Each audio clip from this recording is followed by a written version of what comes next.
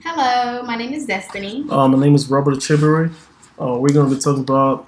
Dreams from My Father by Barack Obama. Uh, okay, this is an 18 chapter book. Um, this was the first book uh, Barack Obama wrote. Um, he has another book. Um, so, this is a book that really talks about his life and his upbringings and his roots. Um, it, the first chapter, Origins, starts with a call he got from his auntie in Kenya, who informed him about the passing away of his dad. Um, this was just a few months after his, right after his 21st birthday. Um, the auntie told him that the dad just died in a car accident. Uh, that took us that he then that then took us to the whole how the whole thing started, which is that his dad was an international student who had come to America uh, on a scholarship. Uh, his father met his mom named Aunt Anne, and they uh, fell in love. They met at a Russian course class they fell in love and they got married um, and had a child, which was Barack Obama Jr. in 1961. Uh, he says Anne's parents were kind of were a little bit wary about the marriage, given that uh, she was a white lady and he was an African man. But he said the moment they met Barack Obama, Barack Hussein Obama Sr., which was his dad, they saw he was an intelligent and smart man and they liked him the moment.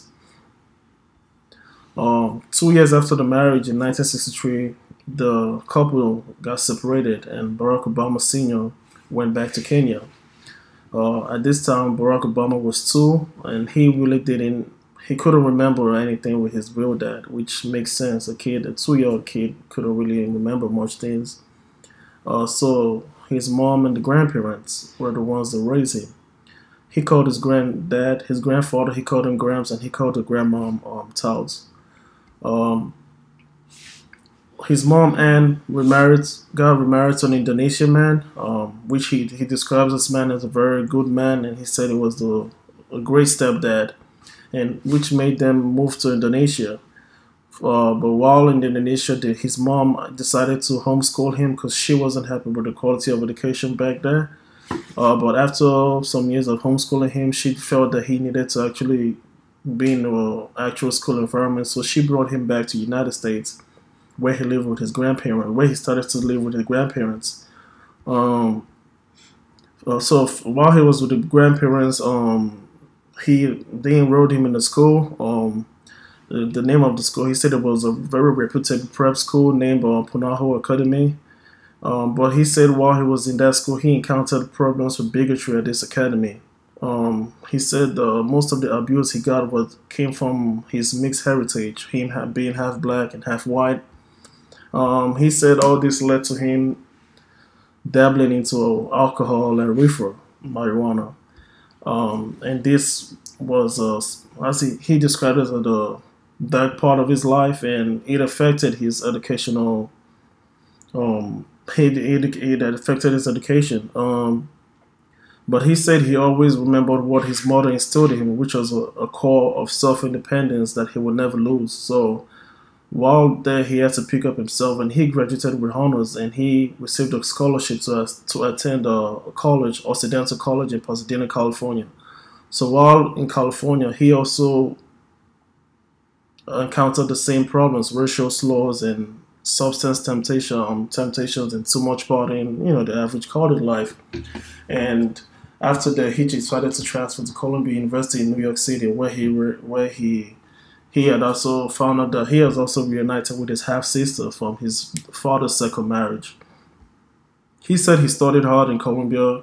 Uh, he got off alcohol and drugs, uh, alcohol and marijuana. He studied hard, and he graduated with honors in 1983.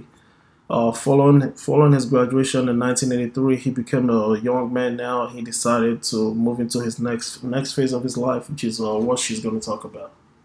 Um, after he graduated, he moved to well. After he moved to Chicago, he started working inside a lot of community um, centers. His first thing he did was an asbestos case. This case was it was asbestos inside of underprivileged schools and inside of white schools. So they moved they removed the asbestos out of the white kids' schools. They didn't remove it out of the underprivileged schools. So the case was trying to get trying to get that removed out of the schools for the kids. Um, they kind of they succeeded in the long run, but they had to choose between getting a new roof or removing the asbestos case. So all the support that he gained and the recognition he gained kind of fell short because at the end of the day, one of the one of the two things weren't going to get done. After that case, he started to he left the community center and he became the first African American editor of the Law Review.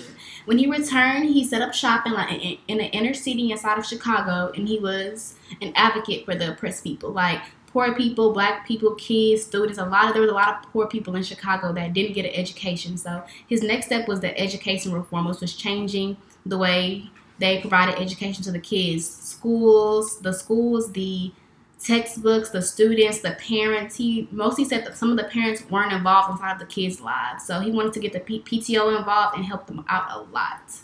The next step was him going back to Kenya and visiting his roots that was where he, I guess he realized that racism was everywhere because even inside of Kenya, he received racism from the people that were there. Um, one incident was when him and his aunt, was that his aunt, Amma? Or is that his sister? That was his sister. His sister Alma. So his sister Alma, they went to a restaurant, they sat down and they were eating. Well, wow, well they didn't even get a chance to eat. They sat down, they didn't get served. They wouldn't get, they wouldn't give them a menu. They didn't want to serve them, but they served the German like people, the white people, but they wouldn't serve them because of their color. So after the incident, I guess he really, really, really knew that racism was everywhere and he couldn't just run run away from it. So he found his roots. He talked to his family. He heard more stories about his father, and he met grandparents. Like he met the whole family. Um, but um reading the book has made me made us realize uh, why he became the man who he was. Um, because from the book you can tell that he had already faced uh, questions about racial discrimination coming from him having a mixed heritage. So from a young age, he's been able to experience all this, and I think it made him become become the kind of man he is, and eventually become um, become the kind of president he became. Um, we can see that he he had like he made a landmark victory in the passing of the bill, which made it possible for people of every sexuality to get married to one another.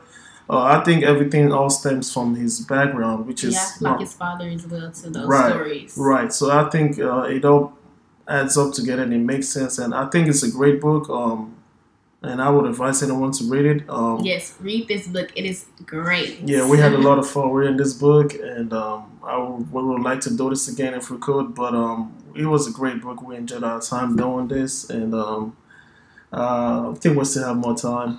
Uh, but uh, we can still talk about him because I think he was such a great man, and he was a great president. And I guess with, with the kind of president we have now, that we can actually see how much of a great president he was. Um, so that's my opinion about the book. I love the book. Um, I learned a lot of things from the book. I learned, I pretty much learned about confidence because he said that was one thing he had actually learned from his grandfather. That was one thing his grandfather told him about his dad. That the dad was a real confident man, and that was something his grandfather actually admired about Obama's dad. And we can see that that such such that confidence was something that actually made him to um, project against challenges that came towards him uh, will be the challenge of drugs and alcohol or the challenge of racial slurs directed at him. Uh, he said it was this confidence which his mom always told him to always rise above. So he said, in terms of whenever whenever he faced such difficulties, such confidence was something that elevated him above it. So uh, it was a great book. Yeah, I think another thing that really um, spoke to me was his name because his name is Barack Obama. But when he was in America, that really didn't mean anything to them. Like Barack Obama, like that was just a that didn't mean anything to him. That was an African name. So right. once he came back from Kenya, and you know he learned his roots, he learned that you know his name really meant something, and he was worth something, and he mm-hmm. meant something. I think that really made him become the person he is today. That made him his confidence just go through the roof, learning yes. that what his name meant, like yes. what Obama think, was. I think Obama happened to mean blessed from when he blessed, so I think that made him realize how much of a blessed man he was, and he said here he was happy he embraced his African roots and heritage, and he met a lot of his extended family members, people he didn't even know, but now he was able to see another side of his family, because growing up he had just been used to the part of his mom, the white family the grandparents. So now seeing the other part actually made him become a better man. Uh, so this is our book analysis. Um, we hope we did a good job. Uh, we were happy doing this book. Uh, it's a great book, and I would recommend it to anyone. Thank you.